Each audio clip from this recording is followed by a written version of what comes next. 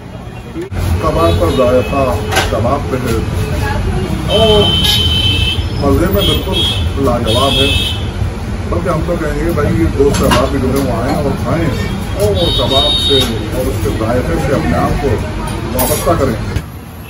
Mutton हाँ और ये जो आप देख सकते हैं आप। ये सब आ रहे हैं चार मीनार से।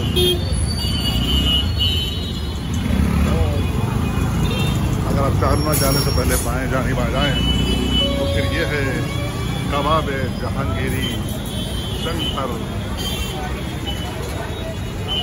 और नाजरीन, ये भी देखिए, कमान के नीचे आप देख सकते हैं, ये कमान है। और इस कमान के नीचे है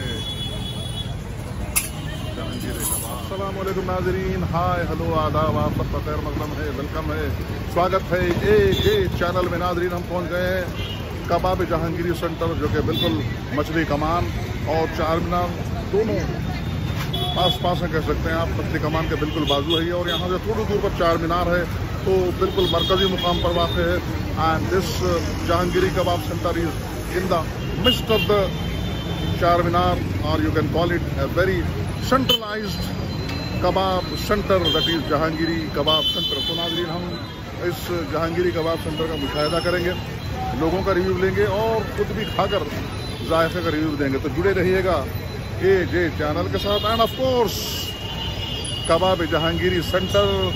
Seekh kebab paratha.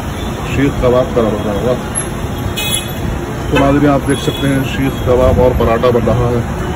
धूप की तमाजत बरकरार है लेकिन उसी गर्मी में शीख कबाब अपने शबाब पर।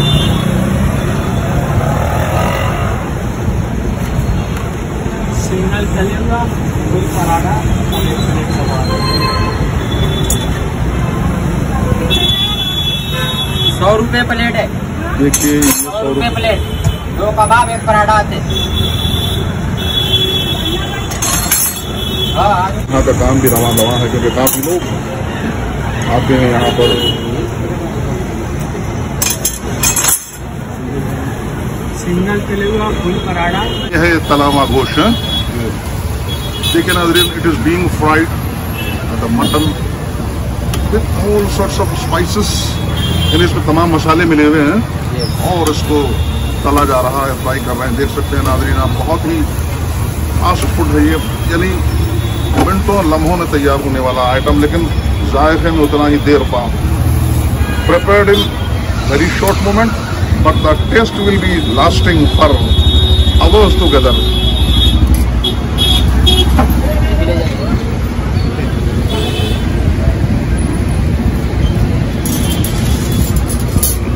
क्या हो रहा है? सीख कबाब जी। यानी शीख को कबाब चढ़ाया जा रहा है। हाँ हाँ सीख कबाब चढ़ाया जा रहा मुगलाई आइटम है फिर कबाब के साथ पेश किया जाएगा।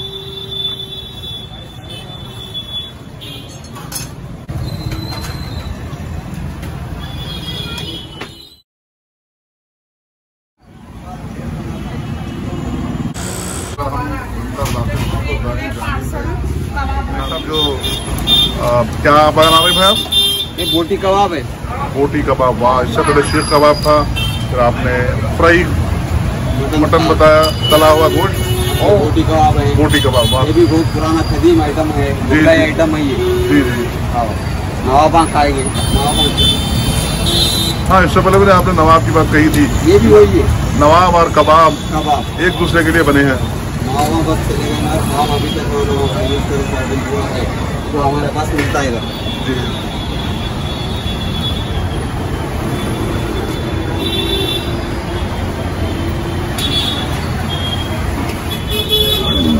ये आप क्या लगा रहे मैम ये वनस्पति डालडा। अच्छा अच्छा। यानी कबाब में शबाब लाने के लिए। वनस्पति डालडा असली और घी मिला के लगाते। हैं अरे वाह क्या कहा। भाई, आपकी बताने की तरकीब बड़ी ही सुहानी है।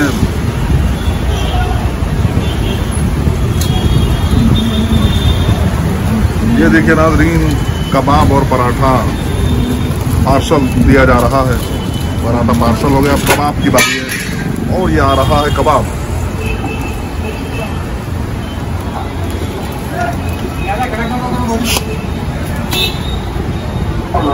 देखिए नाजरीन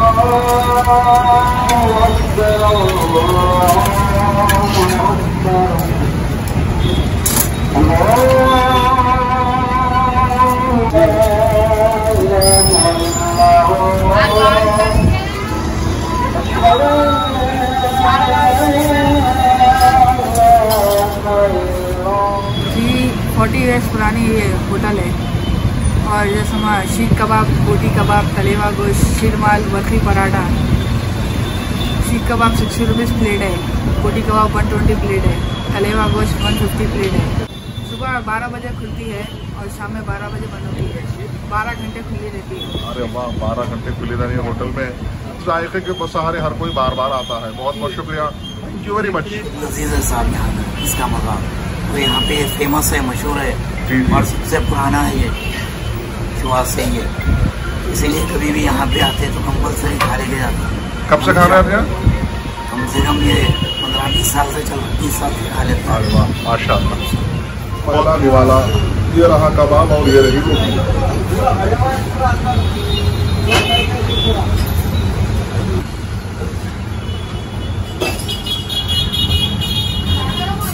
बिल्कुल ये सस्ता है कबाब। सस्ता है। और खाने की प्लेट में बिल्कुल सस्ता है। और ये पराठा।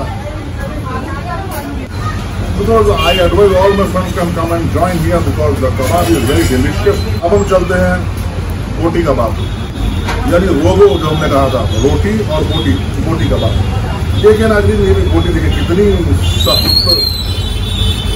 और कितनी नर्म है। मैं इसलिए कह रहा हूँ देखने में सख्त लग रही है लेकिन अंदर से बिल्कुल नर्म है और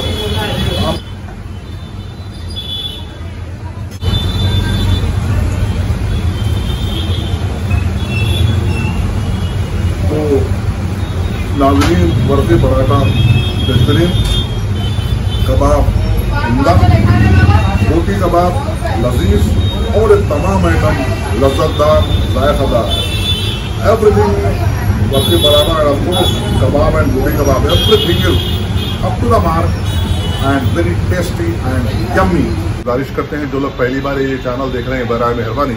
चैनल को सब्सक्राइब करें, वीडियो को लाइक करें, ज़्यादा से ज़्यादा शेयर करें। और हाँ बेल यानी घंटी के बटन को दबाएँ, ताकि हमारा नोटिफिकेशन बर वक्त आप तक पहुँच सके। मिलते हैं अगले वीडियो में। खुदा सबको खुश रखे सेहत पर गजा दे। खुदा हाफिज। God bye